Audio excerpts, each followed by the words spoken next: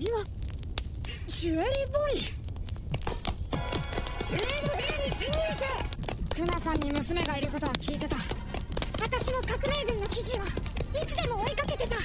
父の身柄を頼むああそのために来たんだクマさんと奴隷た。ちの情を外したらそのまま本部へ戻る任務は完了だ。用が済んだ。ら後を追う分かった。気をつけろ。一人でか。ああ。なくてもやらせる。もしもそれができねえ時は。エッグヘッドは新世界。俺たちが向かうのは反対の海だ。ブーンを祈ってる。調子狂うな。父を頼む